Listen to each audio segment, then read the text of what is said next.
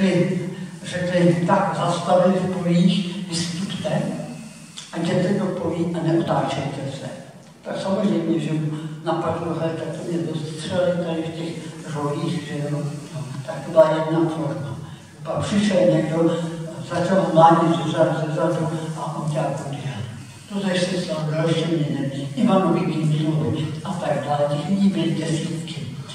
Včetně teda třeba takový, takový Ivan Medek, tak to opravdu mládě až na zemi, že jako to takže jak se, jaká parcha se jsme dostali do ruky. Někteří na to reagovali emigrací, někteří naopak, že se teda naopak a naopak to pokračovali víc. A vlastně tím, že tam přistupovali další lidi, tak se to přes změnilo a už to nebylo tak, že by bylo možné takhle lidi šikanovat. Se zaměstnání vás mohli pustit a vyhodit. Ale ten, já bych řekl, že tím, jak ten režim začal běsnit, tak uh, opravdu takže ty lidi si najednou uvědomili ještě více absurditu toho, toho režimu. A vlastně si řekli, když za tohleto někoho taky pronásledují, to je příšerné.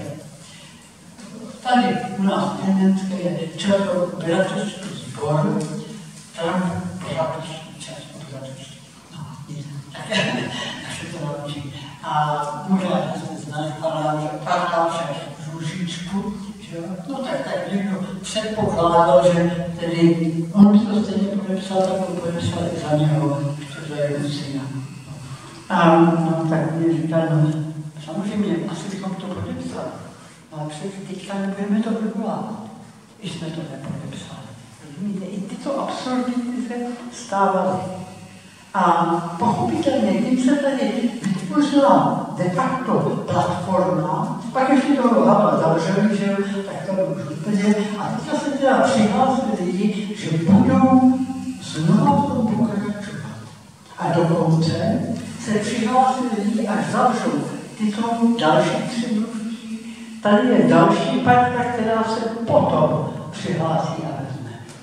Je to takové, jako asi to znáte z toho filmu o Gandhi, jak tam lidi chodí, co se nechají na praštit, svalí se a ty další. Až teda potom ty, ty vojáky to lehce unaví, takže takhle se postupovat prostě nedá.